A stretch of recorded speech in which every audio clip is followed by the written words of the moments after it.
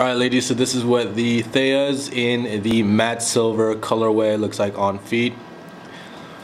We did do an unboxing video to this shoe, so if you haven't checked that out, you can definitely do that right after this video. And we are filming in HD, so switch your settings at the bottom of this video to get a better look at the shoe. For more information on how to purchase these shoes and for more information on our locations in the Montreal and Toronto area, you can visit us at shop.exclucitylife.com.